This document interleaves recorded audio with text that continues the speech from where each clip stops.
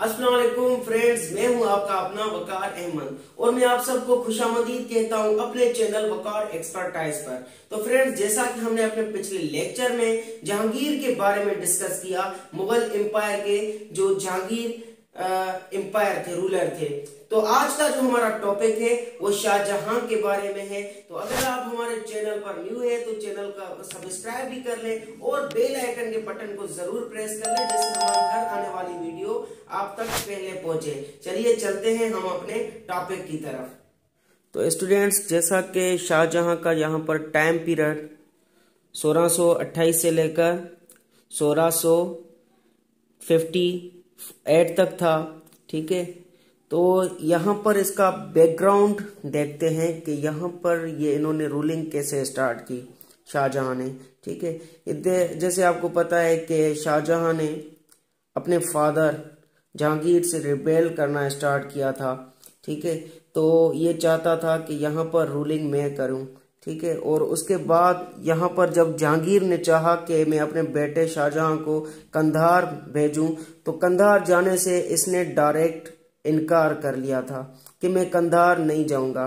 क्योंकि कंधार इसलिए नहीं जा रहा था कि यहाँ पर बहुत ये यहाँ से दूर भी था, ठीक है? तो उसके साथों साथ ये अगर कह रहा था कि मैं यहाँ से जाऊँगा तो हो सकता है मेरे बाबा की जगह पर, जहांगीर की जगह पर कोई और ना आ जाए। सही है?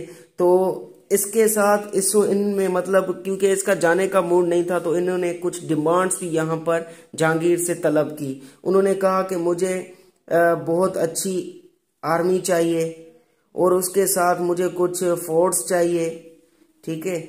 और बहुत सारी मतलब ऐसी ऐसी चीज़ें उनसे डिमांड की कि ना जाने के लिए। तो यहाँ पर जहांगीर को पता चल गया कि ये मुझसे बगावत कर रहा है ये रिबेल्ड स्टार्ट कर रहा है ठीक है? तो यहाँ पर जहांगीर ने ए, इसको एक हर्ष लेटर भी लिखा। हर्ष लेटर में इनको कहा कि सजा की तौर पर इसको मतलब बहुत टफ लफ्जों में इसको कहा गया कि तुम ये अच्छा नहीं कर रहे हो ये अगर तुम जंग करना चाहते हो तो कर लो। तो जहांगीर का मतलब ऐसे उसको कहता है और उसके बाद जो है शाहजहां। शाहजहां की जो है ढक्कन आर्मी जो होती है, ये इसके बहुत मतलब फुल सपोर्ट में होती है। तो उसके साथ ये सपोर्ट जो इनके फादर इन लॉ होते हैं, असफ खान असफ खान भी इनको ही सपोर्ट करते हैं। और यहाँ के जो कोरट के होते हैं, कुछ नोबल्स, वो भी शाहजहां को सपोर्ट करते हैं। तो यही से शाहजहां अपना जो है बैटल स्टार्ट करता है तो यहाँ से ये डिफीट हो जाता है। ठीक है? दिल्ली के नज़दीक ये जंग लड़ी जाती है तो यहाँ से ये डिफीट हो जाता है और यहाँ पर मुगल एम्पायर को जो लीड करता है, मोहब्बत खान करता है। ठीक है? तो मोहब्बत खान शाहजहां को डिफीट कर देता है और यहाँ पर ही एक ये अलायंस बना देता है शाहजहां मालिक अंबर के साथ। ठीक है? तो यहाँ पर ये फिर से वार स्टार्ट कर देता है मुगल एम्पायर के साथ। ठीक है? तो यहाँ पर जे जहांगीर की जब डेथ हो जाती है, और रीज़न तो आपको बताया था, मैंने अपने पिछले लेक्चर में इसका हेल्थ का जो रीज़न होता है हेल्थ की वजह से ही उनकी डेथ भी हो जाती है। और ये जो है, इनको एक घर में भी रख लेते हैं जो बंद करके, ठीक है? और यहाँ पर उसके बाद जो है शहरियार मिर्ज़ा आ जाते हैं, ठीक है? शहरियार मिर्ज़ा का जो टाइम पीरियड होता है सोलह सौ पाँच से लेकर सोलह अट्ठाईस तक, ठीक है? यहाँ पर जो है, ये पांचवे होते हैं youngest son Mughal empire Jahangir के, ठीक है? इसके बाद जब जहांगीर की डेथ हो जाती है तो शहरियार जो है अटेम्प्ट करता है मुगल एम्पायर को, ठीक है? ये उसको संभालने की कोशिश करता है शहरियार।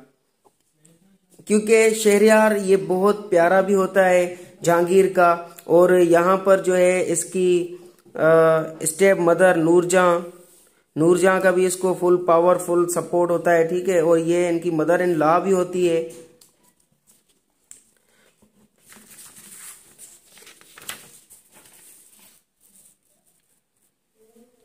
और यहाँ पर जो क्या होता है कि इनका जो भाई होता है शाहजहां, ठीक है शेरियार से ये जंग करना स्टार्ट कर लेता है और यहाँ पर इनको डिफीट करता है, डिफीट करके इनको किल भी कर देता है, इनको मार देता है, ठीक है। जो शाहजहां, जो शेरियार की एज होती है यहाँ पर तेईस साल होती है ठीक है, इनका टाइम पीरियड बिल्कुल कम था तो ये शाहजहां को पावर था। सही है तो शाहजहां उनको डिफीट करके उसको मार भी देता है। तो उसके बाद शाहजहां का टाइम पीरियड स्टार्ट होता है, ठीक है। तो शाहजहां का असल जो नाम था, शहाबुद्दीन मोहम्मद खुरम था, ठीक है। इनका टाइम पीरियड 1628 से लेकर 1658 तक था, ठीक है। तो यहाँ पर जो है ये फिफ्थ मुगल एम्पायर थे, ठीक है? एम्पर थे, ठीक है? यहाँ पर जो इसके, इससे पहले आए थे मुगल एम्पायर में, बाबर थे, ठीक है? बाबर के बाद हमायून हमायून के बाद अकबर अकबर के बाद जहांगीर, ये चार हो गए। अभी ये पांचवा जो था, शाहजहां था, ठीक है? और ये जहांगीर के बेटे थे। और ये जो है फॉरेन पॉलिसी के बारे में सबसे अच्छा जानते थे और इनकी बहुत अच्छी पॉलिसी थी। ये हिस्ट्री कहती है कि इनकी पॉलिसी बहुत अच्छी थी फॉरेन जो पॉलिसी है। ठीक है? तो यहाँ पर जो है, सोलह में जब इनकी रूलिंग होती है, तीन साल के बाद इनकी वाइफ का इंतकाल हो जाता है, वो मर जाती है। ठीक है? जिसका नाम मुमताज़ महल होता है। ठीक है? उनका जो असल नाम है अर्जुमंद बेगम था, ठीक है? और यहाँ पर ये इनकी डेथ हो जाती है तो इसकी मतलब याद में ये ताज महल बनवाते हैं आगरा में, ठीक है? जिसका टाइम पीरियड था जो बनने का, जब इन्होंने स्टार्ट किया था 1632 से लेकर 1653 तक इनका काम चला था ताजमहल बनवाने का, ठीक है? तो शाहजहां जो है शाहजहां के जो रूल्स है, इनको डिस्क्राइब अच्छे से किया हुआ है। कुछ फ्रेंच ट्रेवलर ने, जो फ्रेंच ट्रेवलर्स आए, उन्होंने मतलब अच्छे अच्छे लिखे। ये इनका नाम है बर्नियर ने और टेवरनियर ठीक है? इन्होंने भी बहुत अच्छा लिखा है, इसको डिफाइन किया हुआ है अपने बुक्स में। उसके बाद जो इटालियन आए थे ट्रेवलर जिसका नाम है निकोलाओ मनोकी ठीक है? और पीटर मुंडी इन्होंने भी बहुत अच्छे से इसको डिस्क्राइब किया है, बताया है कि शाहजहां के बारे में। और शाहजहां जो है, जाने जाते हैं। ये मतलब आर्ट को बहुत अच्छा प्रमोट कर रहे थे। और आपको पता है कि आर्किटेक्चर में कल्चरल में, ये जो बहुत सारी चीज़ें इन्होंने, ये रेड फोर्ट बनवाया। रेड फोर्ट के बाद ये जामा मस्जिद बनवाई। जामा मस्जिद के बाद जो ताजमहल बनवाया, ये मतलब इन्होंने भी बहुत सारी ऐसी अच्छी अच्छी चीज़ें बनवाई थी, ठीक है? और लेटर लाइफ हम इसकी देखते हैं कि इसकी लाइफ मतलब कैसे गुजरी थी।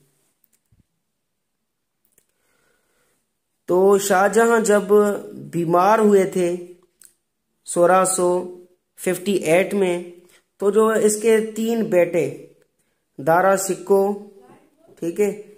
ये मुमताज़, महल के एल्डेस्ट सन थे और यहाँ पर इन्होंने का किया, जब ये बीमार थे तो यहाँ पर इन्होंने रूल पर मतलब रिजेंट करना स्टार्ट कर लिया कि फादर की जगह पर रूल ये मतलब संभाल रहे थे।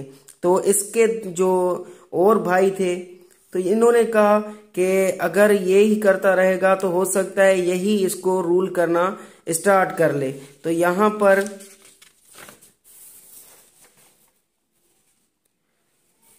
ये जो इसके भाई है, शुजा शुजा भाई है, मुराद बख्श और औरंगज़ेब, ठीक है? इन्होंने यहाँ पर अपने भाई जो शिको मुमताज़ थे जो जो दारा शिको थे, इनके खिलाफ बगावत करना स्टार्ट कर ली, ठीक है? और यहाँ पर मैं आपको बताता चलूँ चलूँ कि जो शुजा था, वो वायस राय था, बंगाल का। और जो मुराद बख्श था, वो वायस रहा था, गुजरात का। ठीक है? तो इन्होंने ये कह दिया कि हम ये कहते हैं, इन्होंने डिक्लेयर कर दिया कि हम अब इंडिपेंडेंट वर्क करेंगे, हम हम दारा शिको के अंडर में वर्क नहीं करेंगे ठीक है? तो यहाँ पर जो है औरंगज़ेब औरंगज़ेब जो है ये भी थर्ड सन होते हैं इनके तीसरे बेटे होते हैं और ये इनके पास बहुत अच्छी आर्मी भी होती है और ये चीफ कमांडर भी रह चुके हुए होते हैं ठीक है? चीफ कमांडर भी रह रह चुके हुए होते हैं तो यहाँ पर ये आ, ये जो है अपनी बगावत, ये जो अपनी जंग है, स्टार्ट करते हैं। दारा शिकू के साथ, आर्मी के साथ, ठीक है, आगरा के नज़दीक, और यहाँ पर ये इनको डिफीट करके उनको भी मार देते हैं अपने भाई को, ठीक है। इस जंग को कहते हैं सामूगढ़, ठीक है। सामूगढ़ इस जंग का नाम था तो यहाँ पर औरंगज़ेब अपना रूल स्टार्ट कर देता है, ठीक है। शाहजहां का जो इसके बाद जो इनको पता चलता है कि शाहजहां रिकवर हो रहा है तो जब इनको पता चलता है तो ये औरंगज़ेब कहता है कि अब मैंने इतनी मेहनत से यहाँ पर आया हूँ तो मैं अब इनको रूल करने नहीं दूँगा तो इसलिए मैं ये ऑर्डर देता हूँ कि इनको हाउस अरेस्ट किया जाए। मतलब इनको घर में ही रखा जाए। एक जो है, आगरा फोर्ट आगरा आगरा फोर्ट के नज़दीक उनका घर था तो वो दूर से शाहजहां जो आगरा को देखते भी रहते थे, क्योंकि शाहजहां की एक ख्वाहिश भी थी कि मैं काफ़ी, बहुत सारा टाइम जो है, आगरा फोर्ट में गुजारूं, ठीक है, अपनी वाइफ की याद में। तो इसकी अब डेथ की हम बात करते हैं, जो जनवरी 1666 में जो है, शाहजहां इल होते हैं, ठीक है, और यहाँ पर जो है, बेड पर इनको रखा जाता है, ठीक है तो ये क्योंकि बिल्कुल एक, इनकी नाजुक सूरत हाल हो चुकी थी तो ट्वेंटी टू जनवरी में यहाँ पर ये क्या होता है कि ये रिसाइट करता है कलमा, ला इलाहा इल्लल्लाह मोहम्मद रसूलुल्लाह, ठीक है, ये कलमा पढ़ के, और कुछ कुरान की आयात, वर्सेस, ठीक है, पढ़ के ये इनकी डेथ हो जाती है शाहजहां की, एज में सेवेंटी फोर ईयर्स ओल्ड होते हैं तो यहाँ पर इनकी डेथ हो जाती है।